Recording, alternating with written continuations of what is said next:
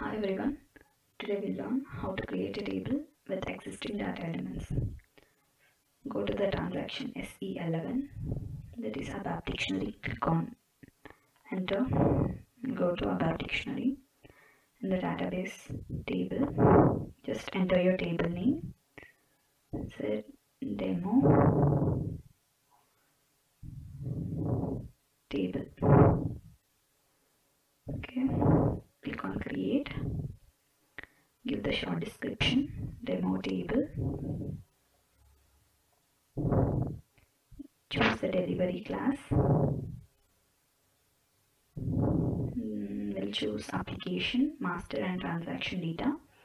Application table is nothing but table with client column in it. Okay. Table browser or table viewing. Application maintenance allowed with the restriction. We can't create entries. So uh, we'll go with application maintenance allowed. Choose fields. Since we have chosen delivery and maintenance delivery class as a application table, our first field will be client field that is mandate. Key field, it must be a key field. May entity, click on enter. See, this is predefined data element client. Okay. Next is material number it's my key field so i'm specifying that element is MATNR MATNR is predefined data element from mara table so when i choose this all this data type length decimal and short description will be populated automatically Next is material name. And the data element er none. Click on enter. Okay, next is industry sector. MBRSH. Click on enter. Industry sector net underscore weight ntgew is my data element net weight weight unit g e w e i since we have net weight as quantity field we need to mention quantity and currency fields with the reference table and reference fields else we'll be getting an error. So to avoid we are taking all these data elements from mara. The reference table will be mara. And the reference field will be g e e i. Now just this I'm saving it as local object. Then go to technical settings. Now give the data class.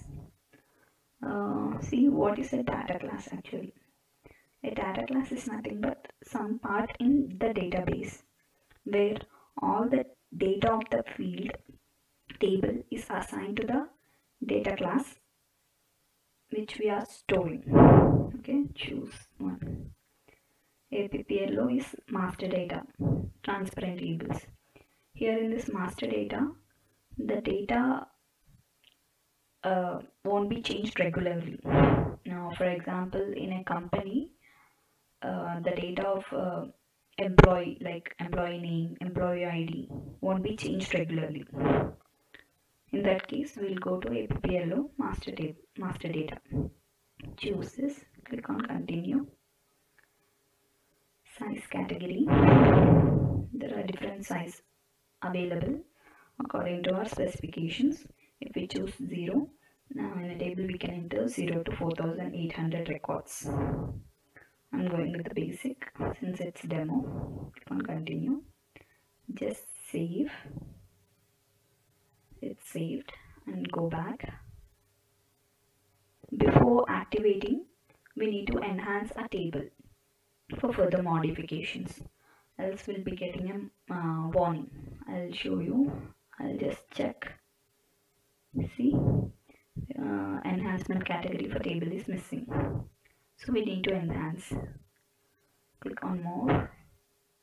Extras. Enhancement category is not classified select an enhancement category. Yes. Uh, enhancement category for structure. There are various structures. I'm choosing can be enhanced deep.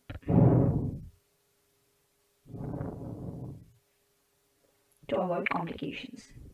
Now again save. Saved. Check for consistencies no no inconsistencies found try to activate. Yes.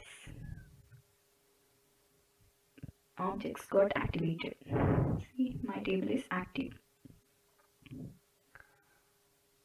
Uh, since uh, I need to enter some of the values with these fields in this table. To enter fields go to more extra uh, utilities contents create entries. 101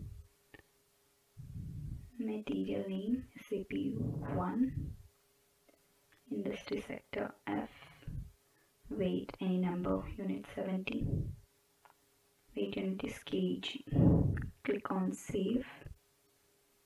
Database is clean to view the record you got saved. Contents just give the number or execute. See? Thank you for watching